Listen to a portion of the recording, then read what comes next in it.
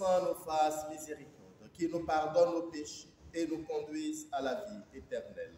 Amen. Seigneur, prends pitié. Seigneur,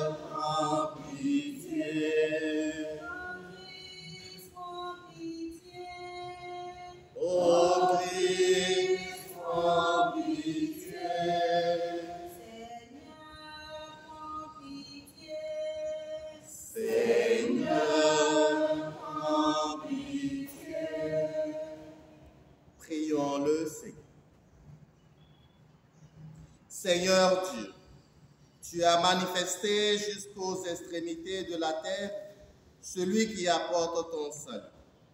Nous t'en prions. Accorde-nous d'attendre dans la joie le jour glorieux de sa naissance. Lui qui vit et règne avec toi dans l'unité du Saint-Esprit, Dieu, pour les siècles des siècles.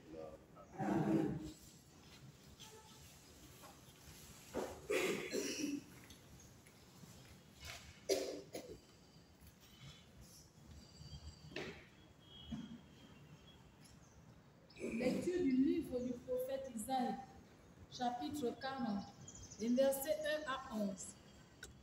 Consolez, consolez mon peuple, dit votre Dieu. Parlez au cœur de Jérusalem. Proclamez que son service est accompli, que son crime a expiré, qu'elle a reçu de la main du Seigneur le double pour toutes ses fautes. Une voix proclame dans le désert, préparez le chemin du Seigneur. Tracez droit. Dans les terres arides, une route pour notre Dieu. Que tout ravin soit comblé, toute montagne et toute colline abaissée. Que les escarpements se changent en plaine et les sommets en larges vallées. Alors se révélera la gloire du Seigneur et tout être de chair verra que la bouche du Seigneur a parlé. Une voix dit, proclame. Et je dis, que dois-je proclamer? Toute chair est comme l'herbe, toute sa grâce comme la fleur des champs. L'herbe se dessèche et la fleur se fane. Quand passe sur elle le souffle du Seigneur. Oui, le peuple est comme l'herbe. L'herbe se dessèche et la fleur se fane. Mais la parole de notre Dieu demeure pour toujours. Monte sur une haute montagne, toi qui portes la bonne nouvelle à Sion. Élève la voix avec force, toi qui portes la bonne nouvelle à Jérusalem. Élève la voix, ne crains pas. Dis aux villes de Juda, voici votre Dieu. Voici le Seigneur, Dieu. Il vient avec puissance son bras lui soumet tout. Voici le fruit de son travail avec lui. Et devant lui, son ouvrage. Comme un berger, il fait paître son troupeau. Son bras rassemble les agneaux. Il les porte sur son cœur. Il mène les brebis qui allaitent. Parole du Seigneur. Nous méditons le psaume 95 donc voici le refrain. Voici le Seigneur Dieu. Il vient avec puissance. Voici le Seigneur Dieu. Il vient avec puissance. Chantez au Seigneur un chant nouveau. Chantez au Seigneur, terre entière. Chantez au Seigneur et bénissez son nom. Voici le Seigneur Dieu. Il vient avec puissance. Racontez à tous les peuples sa gloire. Allez dire aux nations, le Seigneur est roi. Il gouverne les peuples avec droiture. Voici le.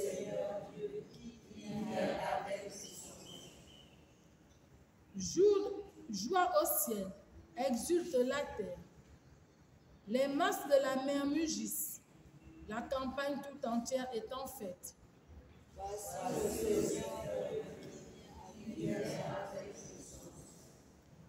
Les arbres des forêts dansent de joie devant la face du Seigneur, car il vient, car il vient pour juger la terre.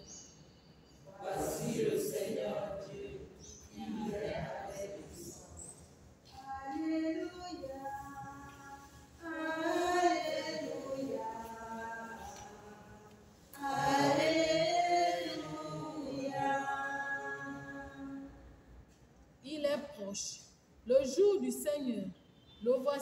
Vient nous sauver.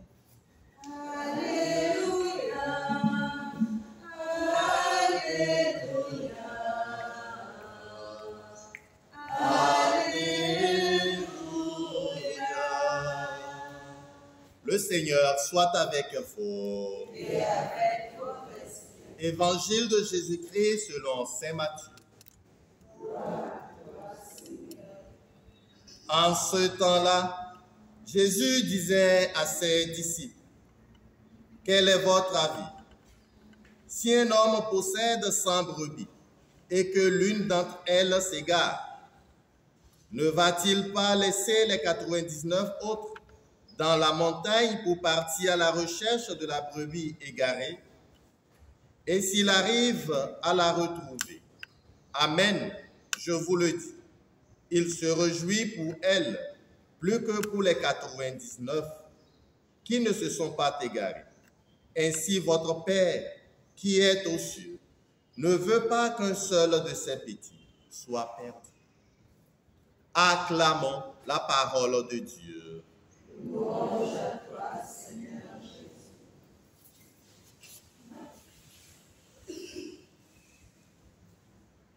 La paix et la joie de Christ. Que le Seigneur soit notre confort en ce jour. Que la main du Seigneur touche chacun de nous, afin que nous, fassions l'expérience de cette présence éternelle de Dieu à nos côtés.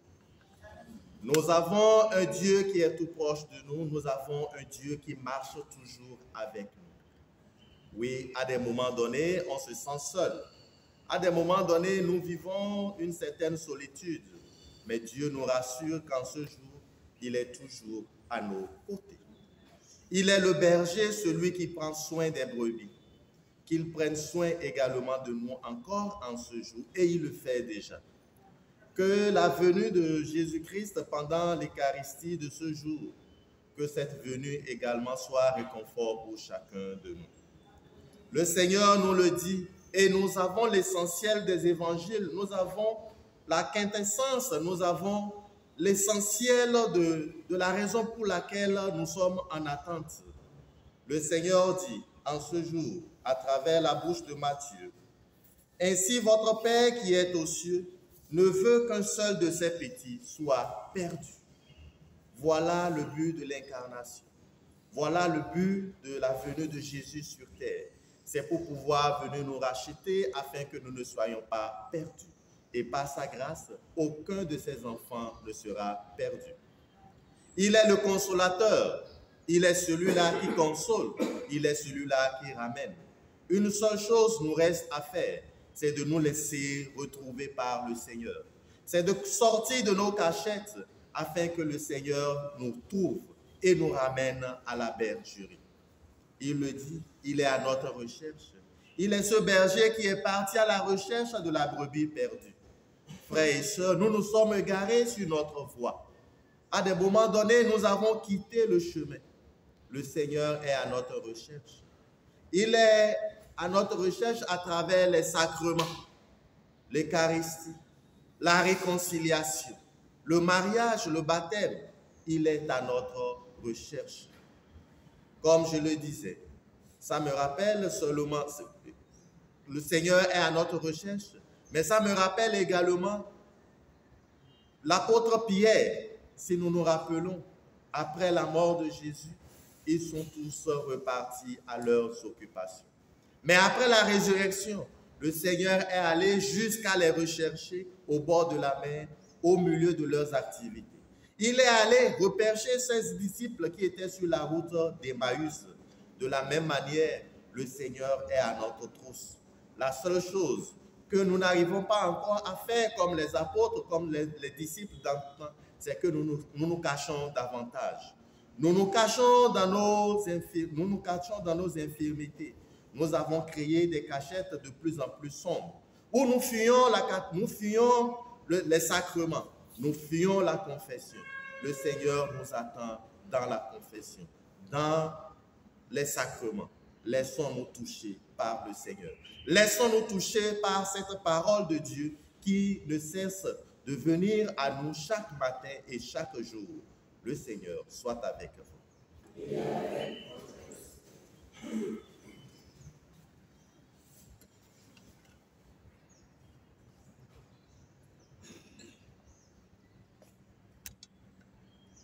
Frères et sœurs, présentons nos intentions au Dieu trois fois. Prions pour notre humanité. Prions pour nos frères et sœurs qui n'arrivent pas encore à le vrai Dieu des faux dieux. Prions le Seigneur. Viens, Marie, viens, viens parmi nous. Viens.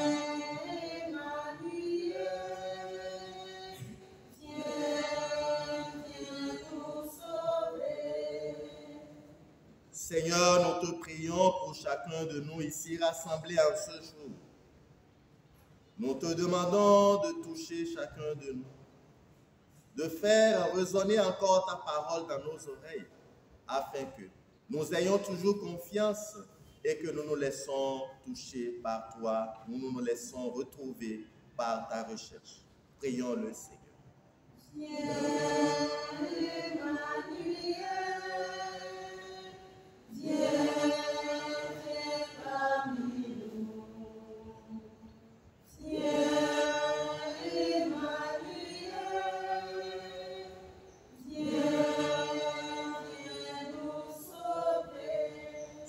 Nous prions pour notre monde.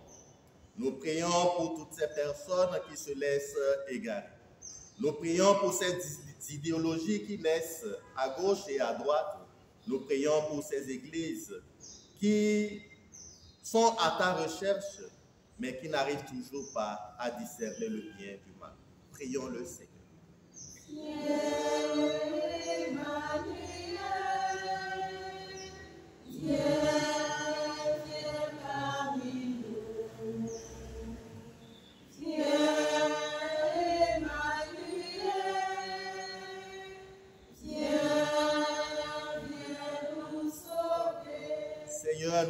Prions pour ces brebis qui souffrent. Nous, te prions pour ces brebis qui n'arrivent pas à suivre ton rythme. Toi, le bon pasteur, tu sais comment est-ce que tu peux les toucher. Et tu nous envoies encore en ce jour afin que nous soyons leurs consolateurs, que nous soyons ceux-là qui prennent soin d'eux. Prions le Seigneur.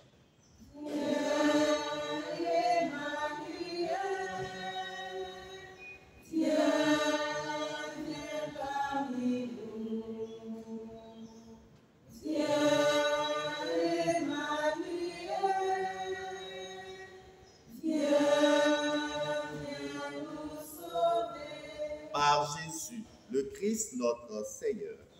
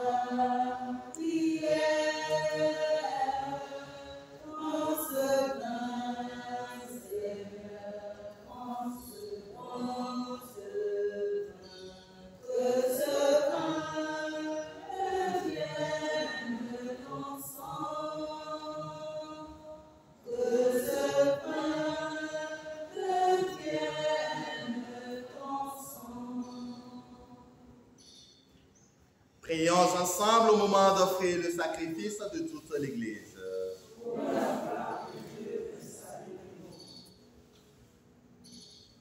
Laisse-toi fléchir, Seigneur, par nos offrandes et nos humbles prières. Nous ne pouvons pas invoquer nos mérites. Viens par ta grâce à notre secours. Par Jésus le Christ, notre Seigneur. Le Seigneur soit avec vous. avec esprit. Élevons notre cœur. Rendons grâce au Seigneur notre Dieu. Cela est juste et bon. Vraiment, il est juste et bon pour ta gloire et notre salut. De t'offrir notre action de grâce toujours et en tout lieu, Seigneur Père très saint, Dieu éternel et tout-puissant, par le Christ notre Seigneur. Car il est déjà venu, en assumant l'humble condition de notre chair, pour accomplir l'éternel dessein de ton amour et nous ouvrir à jamais le chemin du salut. Il viendra de nous, revêtu de sa gloire, afin que nous possédions dans la pleine lumière les biens que tu nous as promis et que nous attendons en veillant dans la foi. C'est pourquoi, avec les anges et les archanges, avec les puissances d'en haut et tous les esprits bienheureux, nous chantons l'hymne de ta gloire et sans fin nous proclamons. Saint, Saint est le Seigneur, Saint,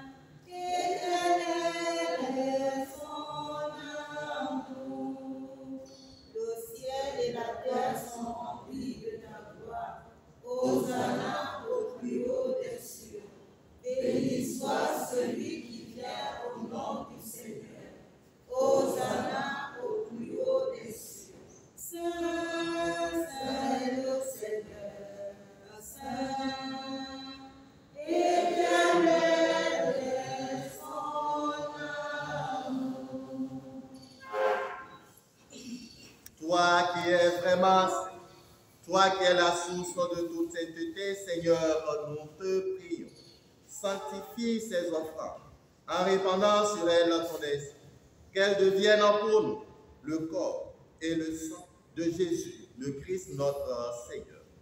Au moment d'être livré et d'entrer librement dans sa passion, il prit le il rendit grâce, il le rompit et le donna à ses disciples en disant, Prenez et mangez-en. Ceci est mon corps livré pour vous.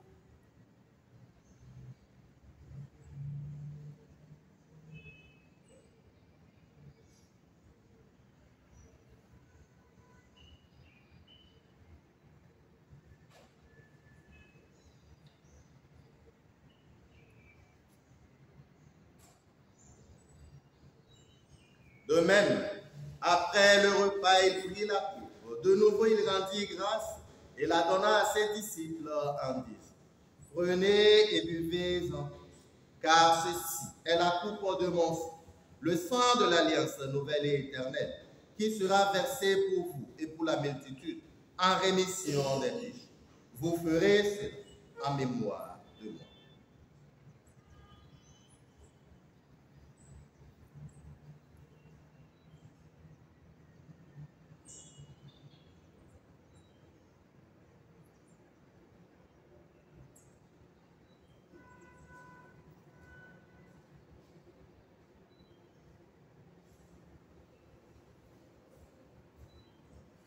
Il est grand le mystère de la foi.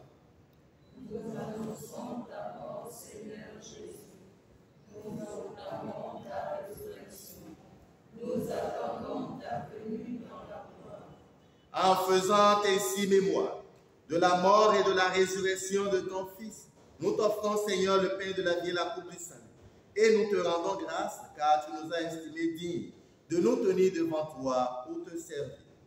Humblement, nous te demandons qu'en ayant part au corps et au sang de Christ, nous soyons rassemblés par l'Esprit Saint en un seul corps. Souviens-toi, Seigneur, de ton Église, répandue à travers le monde. Fais-la grandir dans ta charité, en union avec notre papa François, notre évêque Jean-Patrick et tous les évêques, les prêtres et les diacres. Souviens-toi aussi de nos frères et sœurs qui se sont endormis dans l'espérance de la résurrection. Et souviens-toi dans ta miséricorde de tous les. Accueille-les dans la lumière de ton visage.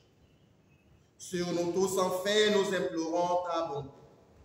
Permets qu'avec la Vierge Marie, la bienheureuse Mère de Dieu, avec Saint Joseph, son époux, les apôtres et tous les saints, Saint François, Saint Claire, Saint Padre Pio, qui ont fait ta joie au long des âges, nous ayons part à la vie éternelle et que nous chantions ta louange et ta gloire par ton Fils, Jésus le Christ. Par, avec lui, à toi Dieu le Père Tout-Puissant, dans l'unité du Saint-Esprit, tout honneur et toute gloire pour les siècles des siècles.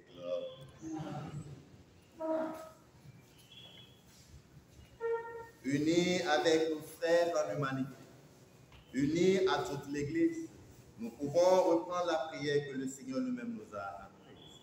Notre Père qui es aux cieux, Que ton nom soit sanctifié, que ton règne vienne, que ta volonté soit faite sur la terre comme au ciel. Donne-nous aujourd'hui notre pain de ce jour. Pardonne-nous nos offenses, comme nous pardonnons aussi à ceux qui nous ont offensés. Et ne nous laisse pas entrer en tentation, mais délivre-nous du mal. Délivre-nous de tout mal, Seigneur, et donne la paix à notre temps. Soutenus par ta miséricorde, nous serons libérés de tout péché, à l'abri de toute épreuve. Nous qui attendons que se réalise cette bienheureuse espérance, l'avènement de Jésus-Christ, notre Sauveur. Car c'est à toi qu'appartiennent le règne, la puissance et la gloire, pour les siècles des siècles. Seigneur Jésus-Christ, tu as dit à tes apôtres, je vous laisse la paix, je vous donne ma paix. Ne regarde pas nos péchés, mais la foi de ton Église. Pour que ta volonté s'accomplisse, donne-lui toujours cette paix. Et conduis-la vers l'unité parfaite, toi qui règnes pour les siècles des siècles. Que la paix du Seigneur soit toujours avec vous. Et avec. Frères et sœurs, dans la charité du Christ, donnons-nous un signe de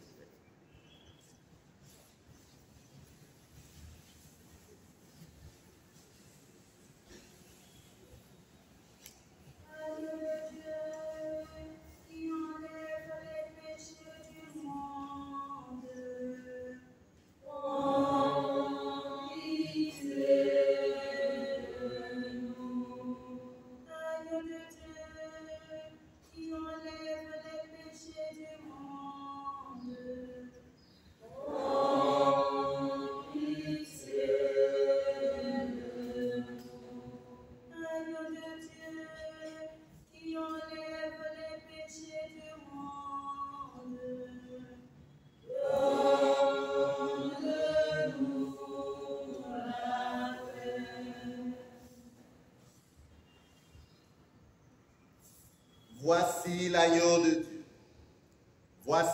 Celui qui enlève les péchés du monde. Heureux les invités au repas des noces de l'agneau.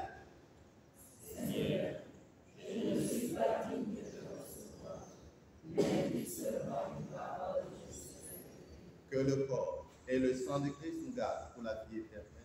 Seigneur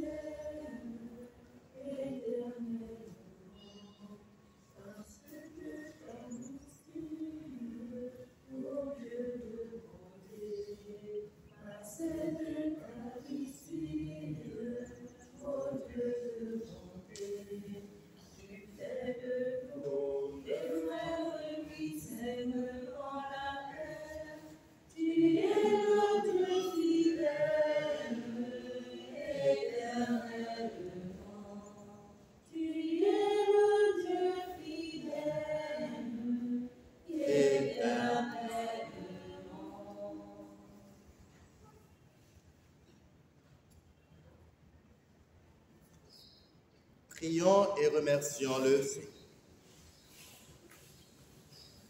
Comblés par cette nourriture spirituelle, nous te supplions, Seigneur.